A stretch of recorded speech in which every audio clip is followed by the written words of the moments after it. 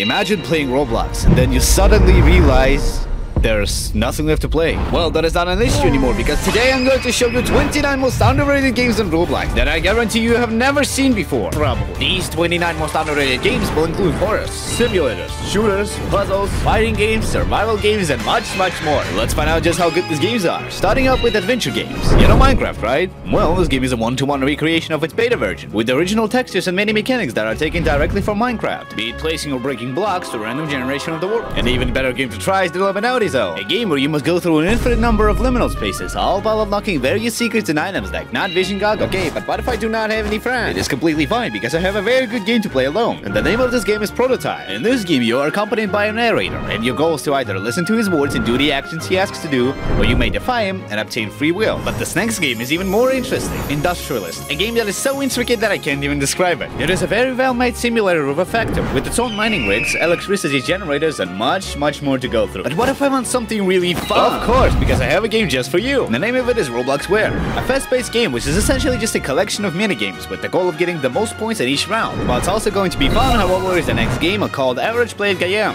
Game? Yeah, that. Wait, who the hell is that? In this hell of a mess, you must survive random disasters that occur every once in a while. You can get killed by a zombie, or a tornado, or something else. It is really that random. You talked about all of these games, but what if I want some puzzles? You were actually right. Let's talk about a game called Iceball. A game that recently got popular, but I still consider it underrated. In this game, you are given a limited number of tools to build a path for the ball to go through. You must not let it break, fall, or get damaged, and the real challenge here comes from the mind-boggling level structures. Pretty cool, right? Yeah, but what if I want to play with my friends? Great question, since I have a fun game to play with your buddies. Wait, who the f is that? The name of it is SCP Anomaly Breach 2. It is a recreation of the famous game using its assets. Here you must escape the facility while playing as numerous roles, be it a Class D, a normal prisoner, or a special task force operative sent to the facility to contain all SCPs. Next we have an amazing puzzle game called Tunneler, an extremely well-made recreation of the Portal game series where you must go through numerous puzzle rooms with the usage of blue and orange portals while solving multiple types of puzzles. Also, hey you, yes you, do you want to be in the video? I guess. Great, then I have a thing just for you. See, I'm just so happy to have my Discord server, Vibers, where I frequently talk with my fans, post sneak peeks to new videos, and blah blah blah you get. That sounds awesome, but why should I care? Well, one of these next giveaways we're going to be hosting is going to have a prize for your Roblox avatar to appear in the video. Okay, so now let's talk about something else, like fighting games. First in line we have Madness Combat. Tucker. This game is heavily inspired by the action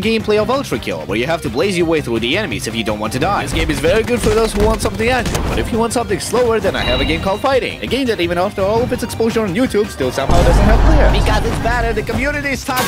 Here you can see two teams fighting each other to death with multiple classes that have unique abilities. However, if you want something more strategic and slow-paced, then we have the Battle Break. Here, you must defend your base with units you can summon for a certain amount of cash. And you also must be smart enough to not forget about attacking units, as you also have to destroy your opponent. Next, however, we have a very active game that will make you sweat, and it's called Ragdoll Universe. A game about fighting other players with weapons you pick around the map. The main feature, however, is that you're a ragdoll, so it is actually quite hard to control yourself. Okay, but what if I want to fight someone with my friends? Well, first, you have to get friends, and for that, you gotta get some better clothing, which is just perfect since I have a thing just for you. You select the template, then click this, change your clothing to whatever you want with various accessories and textures, and boom, you have your clothing. Wait, what the hell just happened? That's how easy it is to use Customuse. In Customuse, you are getting access to thousands of clothing templates and accessories. So put on your own avatar, and you can also upload your own stuff so you can make your merch to sell on Roblox. Wait, so I can make clothing this easily? Precisely. Do I need to pay though? Of course not. Main features of Customuse are entirely free, although many of them are also locked behind a pro subscription. If you want to upload your own picture or some text on your clothing, Customuse has you covered. But that's not even all. You can also draw on your avatar. Overall, Customuse is a great service to start a clothing Roblox group or to make some clothing for yourself. And even I made several designs with Customuse, somehow. Okay, now that I have friends, what fighting game could I play with them? That is a great question because I have a game called Combat Initiation, a game that was praised by many, although now it is quite dead. This game offers a multitude of tools and gameplay styles to choose from. You have to survive waves of unique enemies with bosses at the end of each stage. It is very fun to play with your friends. What is also very fun to play even if you're uh, alone is that a game called Neighborhood War Remake, an extremely violent game and I'm not even sure how it passed Roblox moderation, but hey, in this game you must arm yourself with a variety of weapons and assign yourself to a gang, and then kill everyone! But if you want something easier than that, play some Undead Coming, Armageddon. It's not exactly peaceful, but much more casual with its simple gameplay idea. Shoot the zombies and earn money to buy better guns. Game has a very cool retro aesthetic to it with a nice addition of having a lot of guns and maps to play on. Okay, but what about survival games though? Great question, because the next in line we have Isle. Your main goal is simple, escape the island after you crash in a ship, although it may not be as easy as it sounds. There is a monster chasing you down every night, and mercenaries who were sent in to kill you. They're very dangerous, so better keep an eye out. And you also better keep an eye out for the next game. And the name of it is Decloid's Chaos, Overhealing, a tower defense game, but it is very unusual as you are the one defending the so-called core. You can buy multiple classes in this game and also call allies if you need some help, but your main goal is always the same. Protect the core until wave 24. Now we're finished with fighting games, so let's talk about some horrors. One of the best backrooms games on this list is World's Edge, a horror game about going through many different backrooms levels, with each level having a monster to avoid or a difficult puzzle to solve. However, we also have a very scary game to play alone, and the name of it is Memory, a linear story horror game that is incredibly well made. In this game, you have to uncover a dark story behind your character while also hunting for multiple monsters that may or may not be around. The next game is even better. The name of it is Replica County Archives 2.